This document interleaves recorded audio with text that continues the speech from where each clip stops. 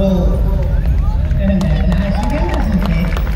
it has turned out nice. And it's nice for us to have so many people here